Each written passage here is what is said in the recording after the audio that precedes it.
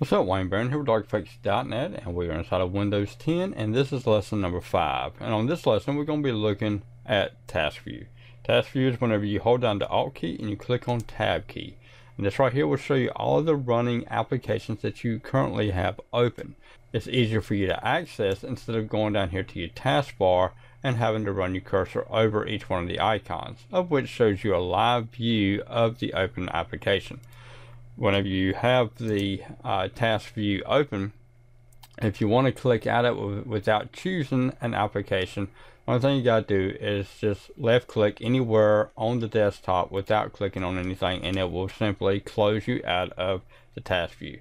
To reopen task view, just hold down Alt and Tab just one time. But if you hold down the Tab key continuously, then it's just going to sit there and it's going to toggle through.